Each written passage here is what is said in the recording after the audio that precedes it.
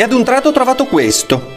Craxi uguale falso uguale ladro. Chi era? E perché sappiamo che è un graffito fatto nel 1992? Benedetto Craxi, detto Bettino, nasce a Milano nel 1934 e dopo una lunga carriera politica all'interno del PSI, Partito Socialista Italiano, ne diventa segretario per 14 anni e poi, primo socialista nella storia, diventa presidente del Consiglio dal 1983 al 1987, periodo in cui l'Italia cresce economicamente molto, ma moltiplica a dismisura il suo debito pubblico. Oratore eccelso, la sua carriera politica termina con lo tsunami di Tangentopoli nel 1992 appunto, che lo vede protagonista e condannato.